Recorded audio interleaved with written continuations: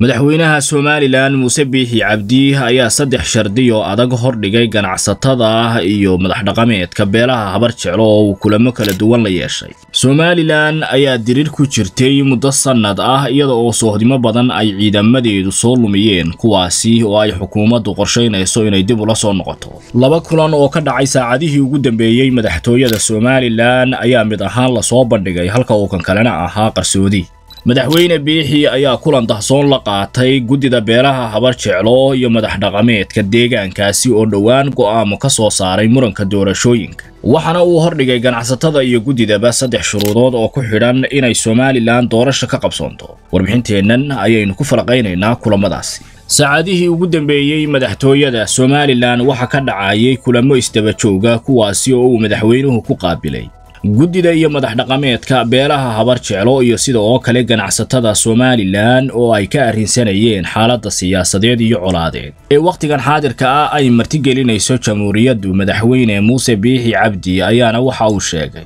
in waddanku uu la soo noqonayo soohdimihii uu soo lumiyey muddadii sannadka ahayd dirirna ay ku jirto somalilan taasi oo bilaabanaysa sannadka cusub ee fooda inagu soo haya mucaaradka ah ayuu sheegay madaxweynuhu inay arrintaasi si weyn u carqaladaynayaan wax kastana ka hor u marinayaan inay doorasho waddanka ka dhacdo oo kursiga uu ku fadhiyo ay iyaguna ku fadhiistaan. Hase yeeshee madaxweyne muuse biixi cabdi ayaa sheegay inaanay arrintaasi sinaba macquul u ahayn oo qarannimada iyo jiritaanka jamhuuriyadda somalilan ay wax waliba ka horreeyaan. Shardiga koowaad ee uu ku xidhay madaxweynuhu inay doorasho ka dhacdo somalilan ayaana ahaa sida ilawareedyo hoose noo xaqiijiyeen in mucaaradka iyo muxaafidkuba ay meel uga soo wada jeestaan difaaca qarannimada jamhuuriyadda somalilan iyo soo celinta soohdimaha maqan oo aanay xisbiyada mucaaradka iyo xulufadoodu samaynin tallaabooyin ay isku hortaagayaan dirirta looga soo horjeedo huwanta magaalada laascaano oo ay muddooyinkii ugu dambaysay u oloynayeen hogaamiyayaasha mucaaradka iyo siyaasiyiintoodu in laga nabdo xiisadda ka taagan gobollada bariga somalilan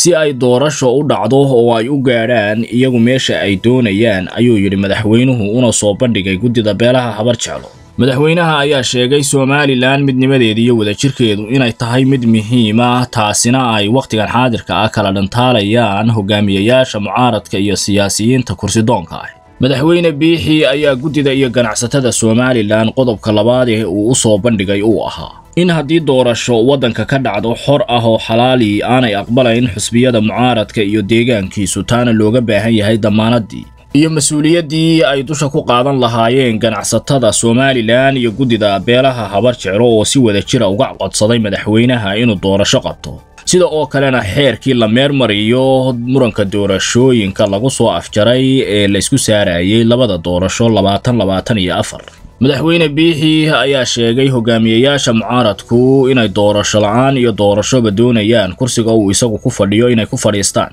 oo aanay haba yaraatee u muuqan waddada loo marayo iyo sida oo kale dariiqa lagu heli karo wakhtigan xaadirka aana aanay marayn. Taasina uu ka shaki iyo werwer qabo inay aqbali waayaan natiijada ka soo baxda doorashooyinka somalilan madaxweynaha ayaa shardiga labaad ee uu ku xidhay fulinta xeerka iyo qabashada doorashada uu ahaa jamhuuriyadda somalilan wakhtigan xaadirka ah dirir ayay kula jirtaa huwanta magaalada laascaanood ee ku soo duushay calanka tawxiid kale iyo midnimada dhulaxaane ilaa iyo iyada laga guulaystona wax ka horraynaya ma jiraan ayuu yidhi madaxweynuhu waana waajibka dastuuriga ah ee isaaran. Maadaama oo shacabka jamhuuriyadda somalilan ay ii igmadeen labadii kun iyo toddobiyo tobankii inaan majaraha u hayo ilaa iyo aan ku wareejinayo madaxweyne kale hogaamiyayaasha mucaaradka iyo xulufadooduna waa inay si rasmiya uga qayb qaataan ayuu yidhi madaxweynuhu sida ilawareedyo goobjoogayaali noo xaqiijiyeen difaaca qarannimada jamhuuriyadda somalilan iyo soo celinta soohdimaha maqan. Intaasi kadibna ay dhacdo doorasho daah furan taasi oo ay nasiibkooda iyo calafkooda ka qaadayaan xisbiyada mucaaradku